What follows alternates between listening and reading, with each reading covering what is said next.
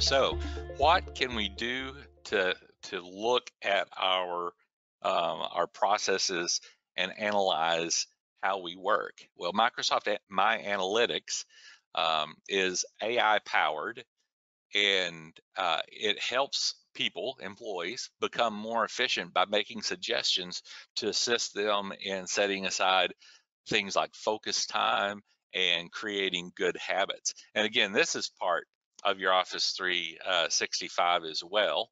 And let's just take a look here real quick at my analytics. So here's my analytics uh, page. Please be take it easy on me. Don't don't be too hard here. Uh, so this is looking at my patterns over the last four weeks. So it's looking at my focus time. So focus time is anytime I have two hours or more that uh, I've spent on a task and I'm not interrupted. And so it's reading, it's getting all of this information uh, from my activities that I perform while I'm working uh, and because we're in Office 365. So it knows when I e read an email, it knows when I open it, when I reply to it, how long that email was was open that I was reading it.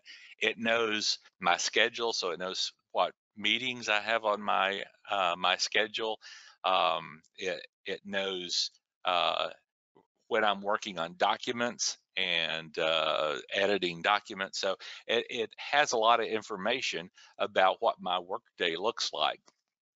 So uh, in this focus time area, you know, it, it, even has a link here to where I can click here and it'll take me to a stage where I can, it'll walk me through making more time to focus. Uh, well-being, this is, this is basically understanding that you need time off and time away in order to recharge. And if uh, and we need that in a consolidated state in order to take care of ourselves. Then, of course, that network of uh, people that we work with that I'd mentioned earlier, it, it, gives me an overview of this. I've got 77 active collaborators that I've been working with in the last four weeks. And then, of course, collaboration. How much time am I spend working with others?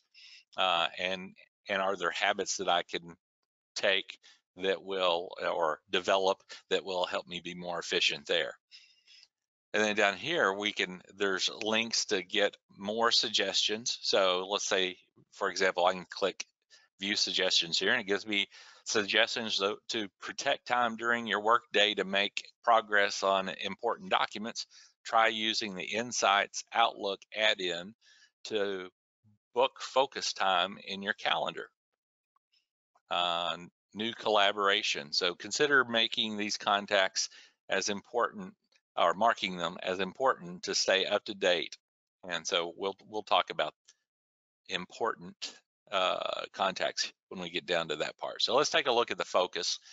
So this actually shows me what the last four weeks focus time has been. The uh, light green is available focus time, the dark green is collaboration time. So this is what my last four weeks have, have looked, li looked like. Well-being, here I can actually drill into and see my quiet hours that I have. You know, longest streak of quiet days kept were four. Uh, that happens to have, I think, been a weekend that I was sick, so that it was quiet time. Um, but here gives me some information based on, you know, 10% of my time was on meetings, 66 on emails, 24% was on chat and calls. So it gives me a really good insight uh, into how I spend my time. Network, this is who I spend my time with. So here I've got active, I've got myself and I've got broken up into time, who I spend my time with.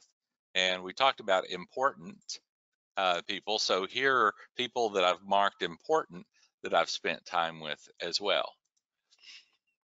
And then of course, collaboration. This tells me, uh, you know, out of 43 meetings you attended in the last four weeks, here are the most common types. You know, so this is this reflects back on on how I've been working. Down here, communication at habits, emails sent, emails read, chats and calls. So this is a tool that really allows me to be able to uh, develop better um, better work habits